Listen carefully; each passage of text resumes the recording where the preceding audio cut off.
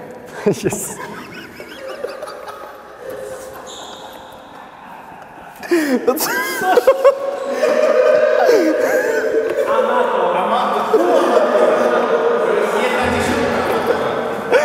No jest. co?